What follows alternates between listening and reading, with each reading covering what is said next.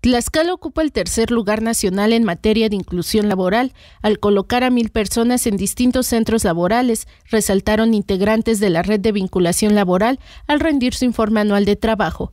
En el informe rendido por la directora del Instituto Tlaxcalteca para Personas con Discapacidad, Mari Carmen Mazarraza Corona, 280 personas fueron beneficiadas con empleo temporal, además de lograr contrataciones en empresas, dependencias y ayuntamientos. El número de personas con discapacidad que se integraron a empresas fueron 150 personas. Ahí hay unas empresas como Schneider, Industrial Tlaxcala, Flowcell, Corbut Labs, Yali Tlaxcala, en el ITPCD, en la Secretaría, no, en el Sistema Estatal del DIF, eh, en Navarrotes Rivera, en Tiendas Soxo, en el Se Puede, etcétera. Ahora, hubo 120 personas con discapacidad que se integraron a, los ayuntamientos. Entre otros logros alcanzados de enero a diciembre de 2016, se atendieron a 370 personas en situación de vulnerabilidad, de las cuales fueron 235 personas con discapacidad entre hombres y mujeres y 128 adultos mayores. La red de vinculación también realizó trabajos de capacitación y evaluación a hombres y mujeres, refirió Mari Carmen Mazarraza. A nivel federal, la canalización de, fueron tres mujeres, dos hombres, en total cinco. Capacitación, 55 mujeres, 16 hombres, en total 71 personas.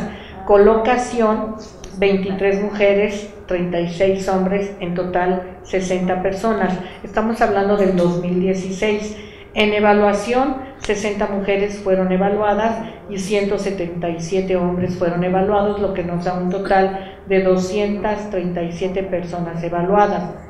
Por su parte, la delegada de la Secretaría del Trabajo y Previsión Social, Viviana Barbosa Bonola, destacó los logros por parte de la red.